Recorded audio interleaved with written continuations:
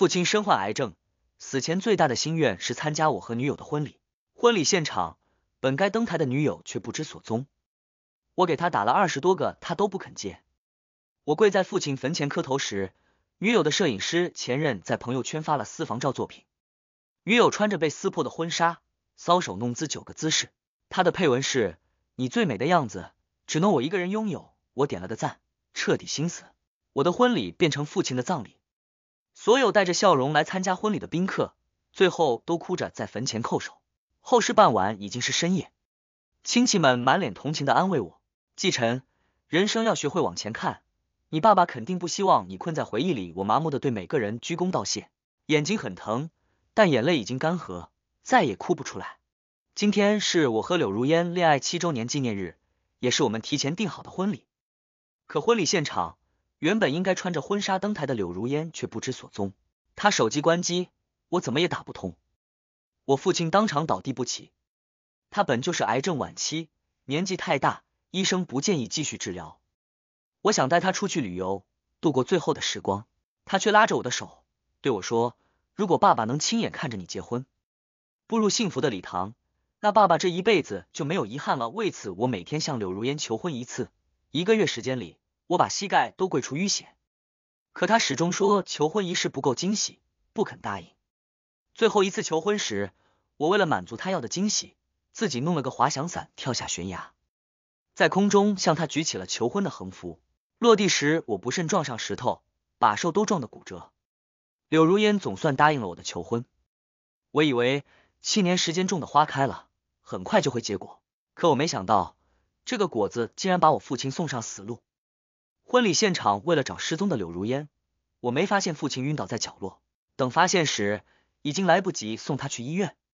他奄奄一息，握着我的手，语气满是遗憾：“季晨，不要难过，爸爸的身体本来也到头了，你找到如烟以后，不要跟他吵架。”有话好好沟通，夫妻嘛就是要。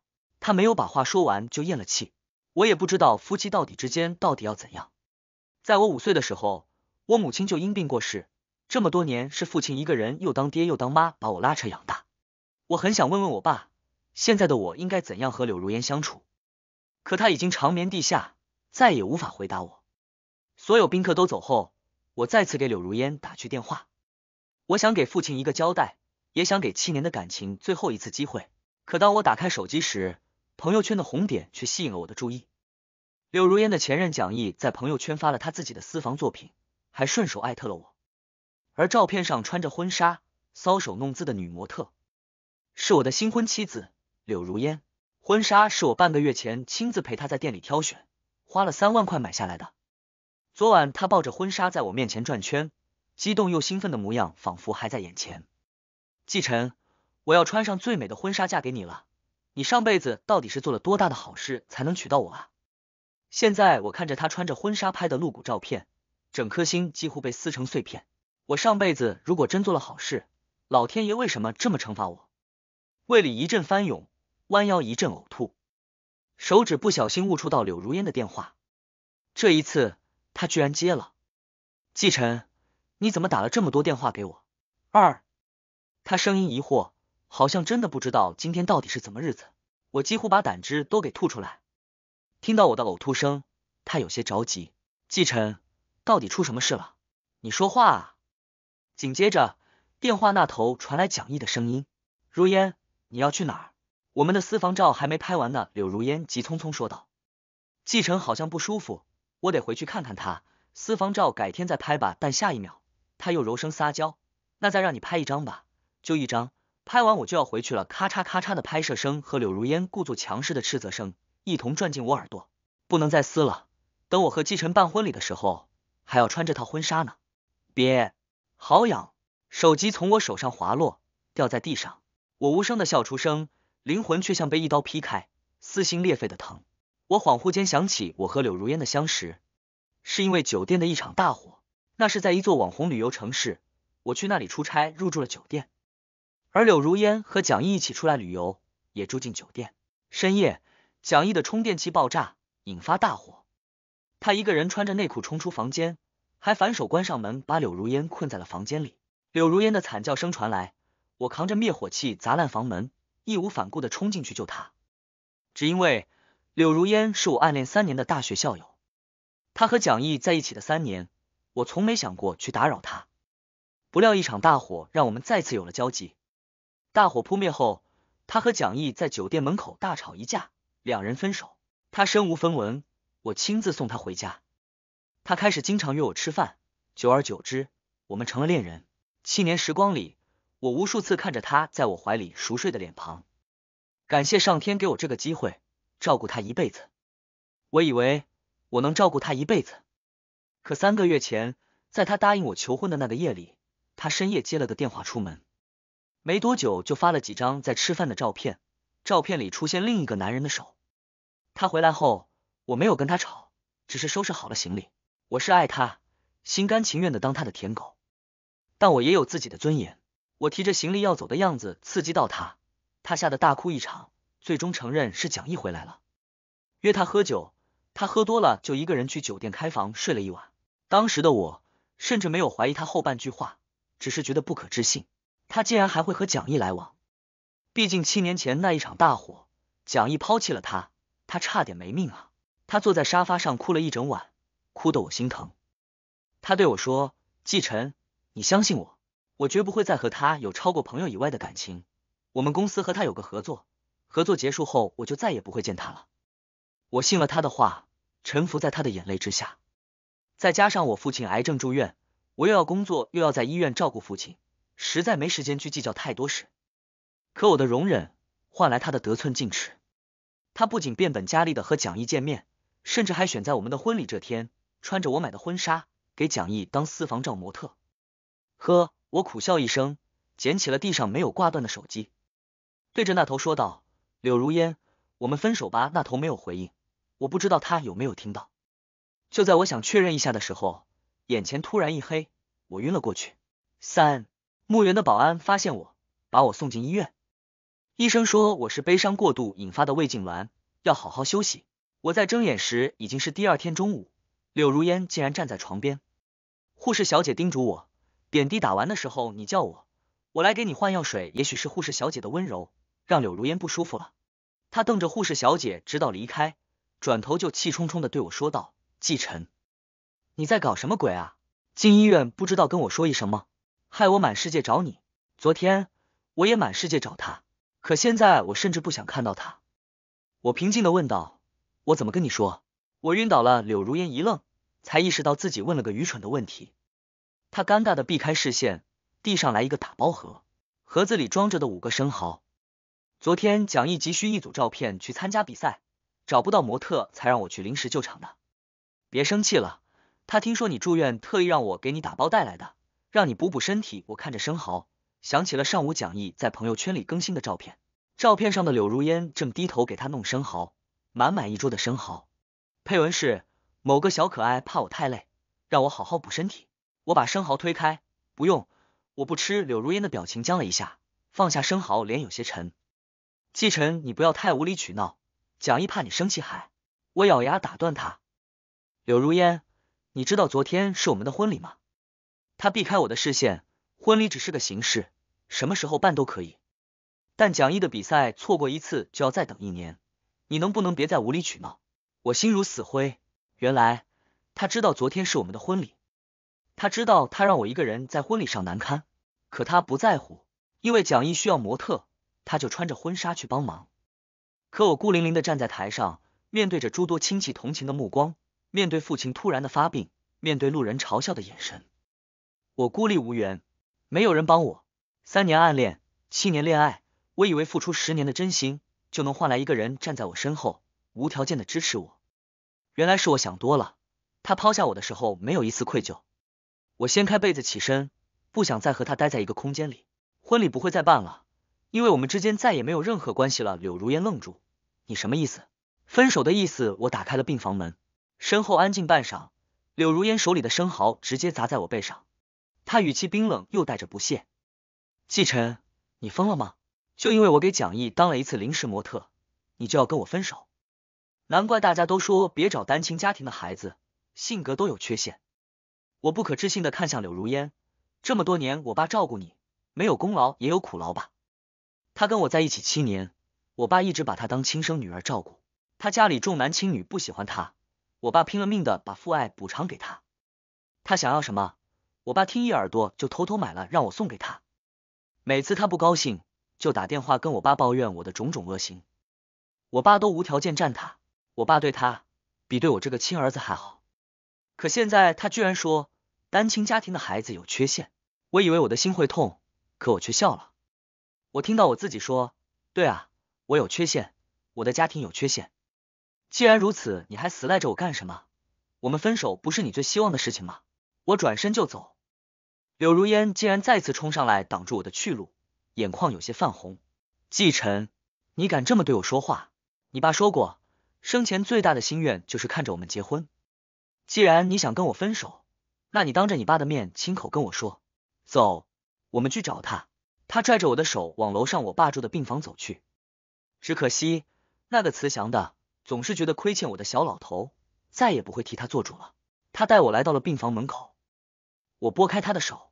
柳如烟，我爸死了，就在昨天，你和蒋毅在酒店里拍私房照的时候，他死在我怀里，临死前还让我别生你的气四。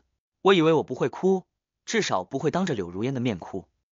但我站在我爸住了四个月的病房前，闻着那股熟悉的消毒水味道，眼泪却不自觉的滑落眼眶。我倔强的抬手擦去眼泪，柳如烟看着我的眼神却满是厌恶和不信任。季晨，你疯了吗？为了吓唬我，居然诅咒你自己的亲爸爸，还哭了？你装的可真像。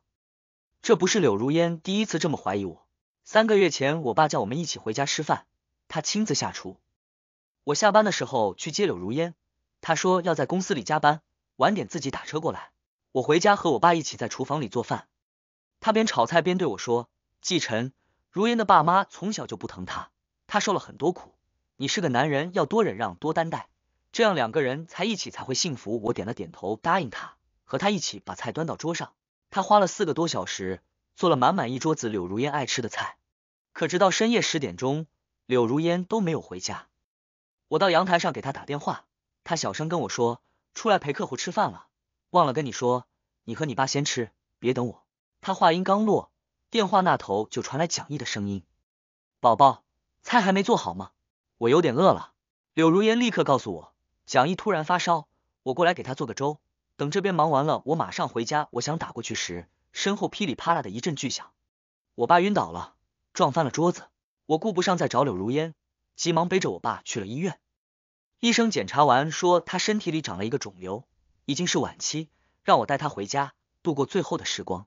我坐在床边守了我爸一夜，他睁眼第一句话竟然是：“你别管我，快去餐厅给如烟打包点饭菜。”我把那一桌子菜给撞倒了，他还吃什么啊？可是那一整晚，柳如烟都没给我回过电话。第二天我去他公司找他，告诉他我爸得了癌症，他也像现在这样厌恶的看着我。你为了跟我结婚，连这种谎话也编，想用你爸来绑架我，你也太让人恶心了。后来是他亲眼看到我爸吐血，才相信我的话。季晨，你说话啊！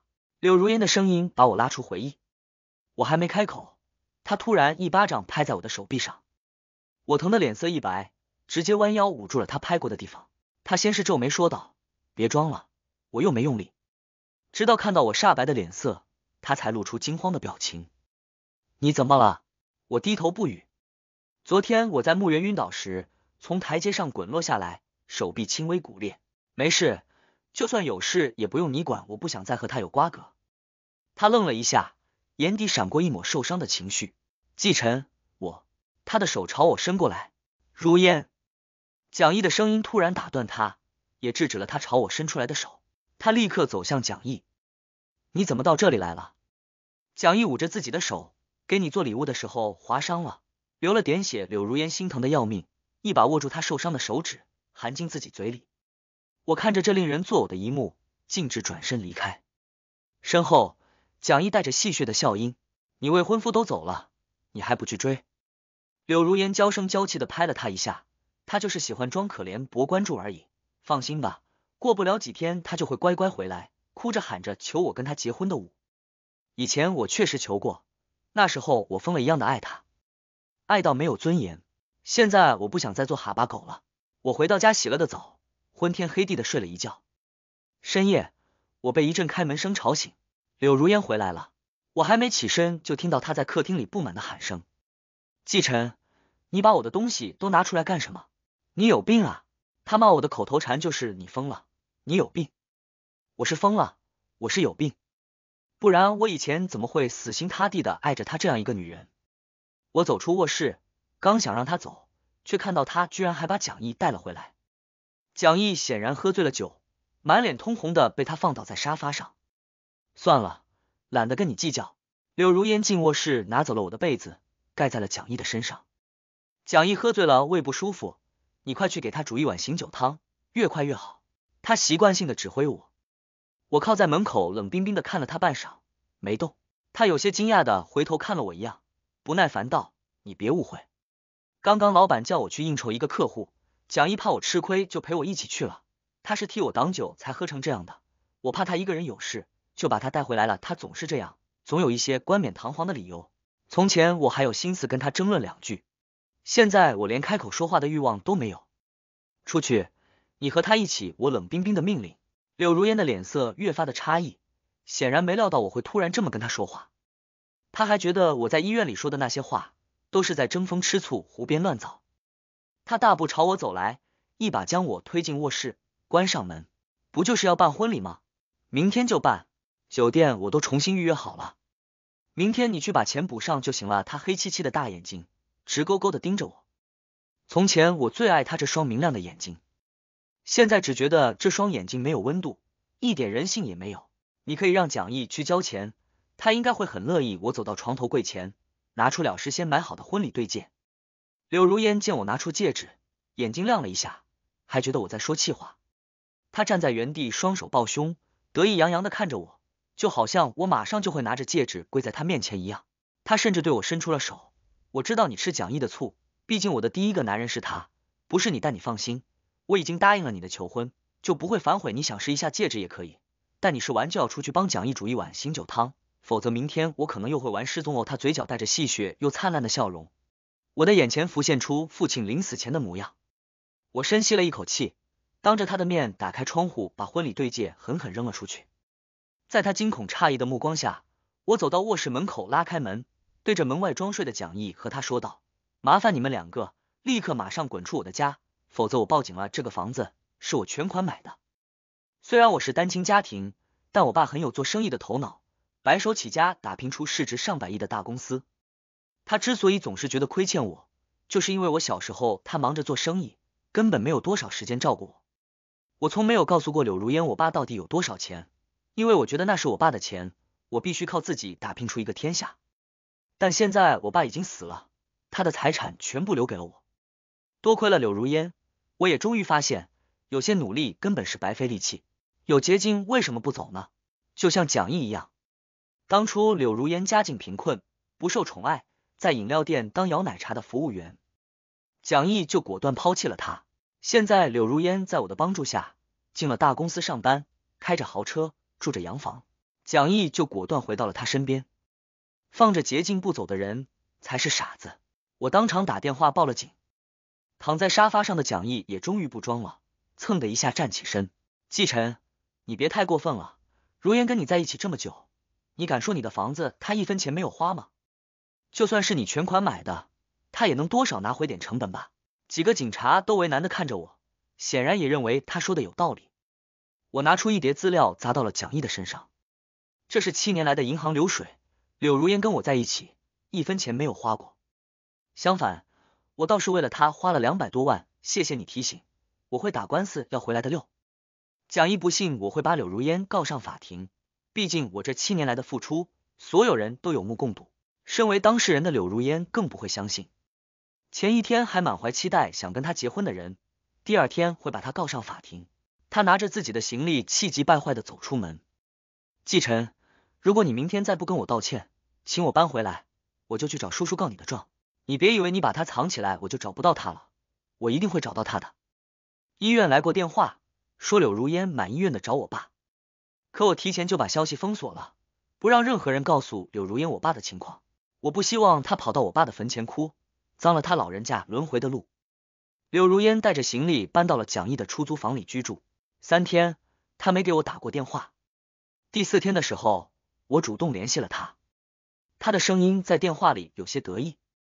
季晨，你想通了，那你赶紧来接我吧。他告诉了我蒋毅家的地址。我开车新买的跑车去了。红色跑车吸引了无数路人的注意。柳如烟提着行李从门口走出来，一看到我，眼睛都亮了。蒋毅跟在他身后。看到我的车时，眼神里全是嫉妒。季晨，你怎么买了这么贵的车？柳如烟认出我身上笔挺的高定西装，眼睛放光。我还没开口，蒋毅就阴沉沉的讽刺道：“我估计是租来的吧。”季晨，你爸不是还重病住院需要花钱吗？何必打肿脸充胖子呢？我什么也没说，让柳如烟上车。柳如烟问我她的行李放哪儿，我说不用带行李。他以为我要给他买新的。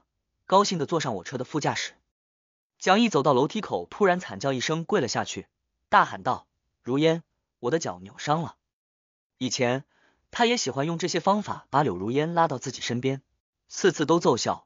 我以为这次柳如烟也会毫不犹豫的走向他，没想到柳如烟却只是小心翼翼的看了我一眼。季晨，这几天我想通了，我之前确实做的不对，我不该在婚礼的时候放你鸽子。你放心。等我们办完婚礼以后，我再也不会和蒋毅见面了。我们在一起好好过日子。他抱着我的手，把头靠向我的肩膀，我内心一阵恶心，直接急刹车，让他撞在了椅背上。他不满的回头看向我时，我只是耸了耸肩。红灯，他出乎意料的没有指责我，而是让我开车注意安全。一路上，他仿佛已经笃定了我是来找他复合的，各种畅想着未来，直到我把车停在了法院门口。今天法院开庭，律师说给你打电话，你总不接，我只能亲自来接你参加庭审。我下了车，拍了拍刚刚被他铐到过的衣服，他满脸错愕的看着我，随后气急败坏的咒骂：“你真的要我还你那两百万？你有病吗？那些钱也不全是我一个人花的，吃饭的钱你也算我一个人头上。”我摇摇头，我给你花的两百万，我不要了。他眼睛一亮，还没开口就被我再次打断，我想要回来的。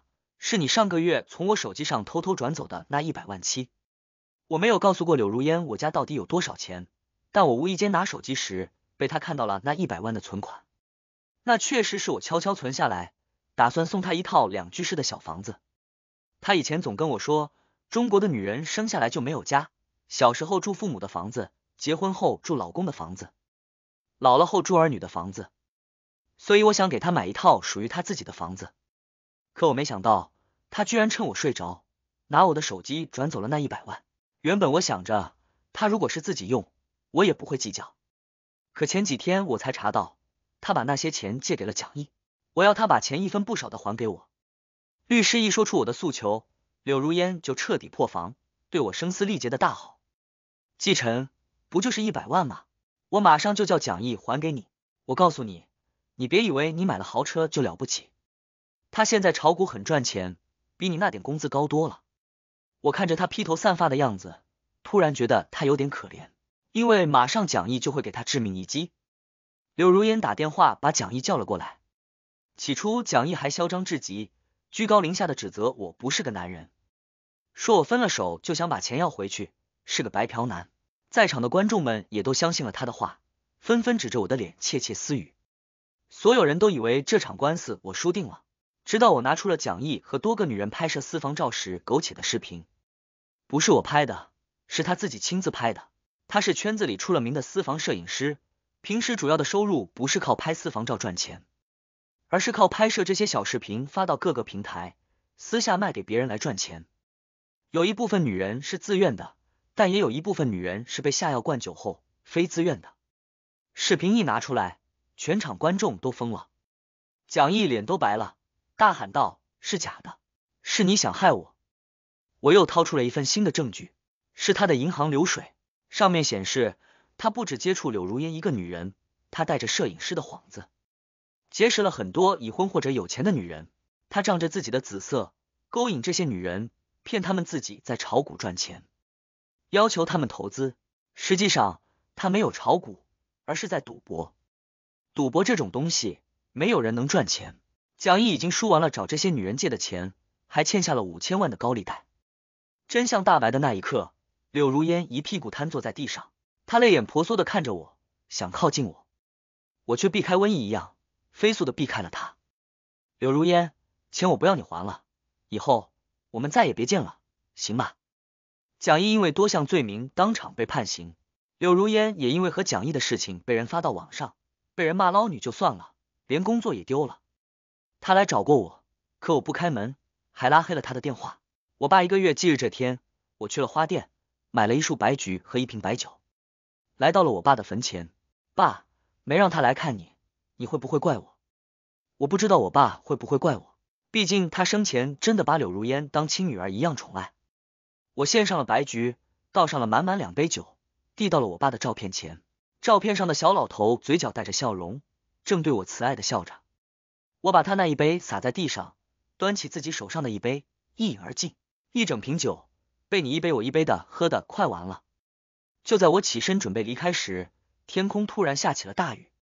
我透过雨幕看到了一个身影，抱着一束花站在不远处，静静的看着我。爸，是柳如烟。我不知道他怎么找到这里来的，或许是他在跟踪我，但这都不重要了。他膝盖上有伤口，衣服上有尘土，像是在狠狠摔了一跤。大雨淋湿他的头发，让他看起来像一阵风就能吹倒。但我懒得关心他，我挡在墓碑前，挡住他的视线，赶紧离开这里，否则我就报警了。后面四个字我没说出口。他突然扑通一声跪倒在我面前，继晨对不起。我不知道叔叔真的出事了，对不起，对不起。他弯下腰，把额头磕得砰砰响。水坑里的水花溅起来，打湿了我的裤脚。我回头看向了墓碑上的照片，先前还在笑的小老头，怎么看起来像在哭呢？我跪在地上，伸手去擦照片上的雨水。小老头，别哭。柳如烟的哭声在整个墓园里回荡，显得凄厉可怜。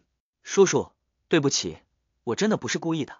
早知道那天是见你最后一次，我一定会去的。对不起，让你失望了。对不起，他一直在说对不起，脸上分不清是泪水还是雨水。我回头冷冰冰的看向他，柳如烟，我爸对你不好吗？到底还要怎样对他才算好呢？小老头恨不得把心都掏给他了。不是的，叔爸爸对我很好，真的很好，从来没有长辈像他一样爱过我，是我一时糊涂。柳如烟突然改口，从叔叔到爸爸，我一阵恶心，急忙站起身。柳如烟，婚礼取消了，我们也分手了，麻烦你别喊他爸爸，以后也别来看他，就当从没有认识过吧。柳如烟瞪大眼睛，哭得不能自已。季晨，你别这样，我真的知道错了。他跪在地上朝我这边挪，哭得梨花带雨。我皱眉看了他一眼，麻烦你立刻离开这里。我再说最后一遍，柳如烟又跪在地上向我爸磕了几个头，怕我真的要报警。终于离开墓园，我盯着他离开的背影，把柳如烟的照片给了保安，又给了他一笔钱，以后看到他来就直接赶走，绝对不准他进去祭拜。保安诧异的看了我一眼，似乎想起了我是前几天从台阶上摔下来的人，他点了点头，小伙子放心吧，我会注意啊。还有，过去的人就过去了，你要记得往前看，我当然会往前看。我一回家就直接把和柳如烟一起住过七年的房子半价挂在了网上出售，我还订好了去国外旅游的机票，打算带着小老头的照片到这个世界去看看。一个月后，房产中介联系我说有人过去看了房子，很满意，现在在房子里等我过去签合同。我背了个包，把小老头的照片放在了里面。我打算等合同一签完就直接去机场。可当我走进曾经熟悉的家时，没有见到买家和中介。只闻到了一股浓烈的饭菜香味。厨房里，一个穿着围裙的身影正在忙碌。我甚至产生了一瞬间的恍惚，好像那个人是小老头。但很快我又打消了自己的念想，因为那背影是个女人，还是个让我很熟悉的女人。季晨，你回来了，先去洗手吃饭吧，还有一个汤就做好了。我先去看看柳如烟穿着家居服和围裙，扎着马尾的模样，像极了七年前的她。那天我第一次带她回家，她兴奋的穿着围裙在厨房里比划，说以后要做个贤妻良母，一辈子做饭给我吃。可七年里都是我在做饭给她吃，这是她第一次下厨，但我已经没有了期待。你怎么会在这里？我问完柳如烟就红了眼眶。我顿时反应过来，自己有点傻。中介口中的那个买家，应该就是柳如烟。他企图把我带回曾经的房子，找回曾经那些爱他的记忆。可他是异想天开，我甚至没有看那些饭菜一眼，冷冰冰的说：“你这叫非法闯入。如果我报警，你会坐牢的。”柳如烟的身影一僵，不像之前那样激动，而是苦笑了一声。我们之间是从什么开始，走到了一见面就要报警的地步呢？他可能以为我会跟他追忆往昔，但我却直接戳穿他的幻想。大概是从你出轨的那一刻开始吧。啪的一声巨响，柳如烟手里滚烫的汤摔在地上。溅满了他的腿，他疼得把嘴唇都咬破了，眼巴巴的看着我，像七年前我在大火中救他的时候，他也是缩在角落这样眼巴巴的看着我。只可惜再也回不去了。柳如烟，我要走了，房子你想买就直接联系中介，不想买也没事。总之，我们这辈子不要再见了。我带着小老头的照片离开，去了国外，到处游山玩水。没几天，我听说柳如烟真的借钱把房子买了下来。他这叫亡羊补牢，我照常办理手续，全程和中介沟通，拒绝了他想和我通话的请求。又过了一个月，我从国外回家时，听说蒋毅在前几天假装生病，借着保外就医的机会去找柳如烟，两人发生争执，引燃了沙发，房子失火了，蒋毅死在大火里，柳如烟被救出来，但全身大幅度烧伤，不死也是个废人。他托人带消息给我。请我去医院看他一眼，我拒绝了。中间人问我有没有话想带给他，我摇了摇头，没有他这一辈子也会带着遗憾过完一生吧。真好。全文完。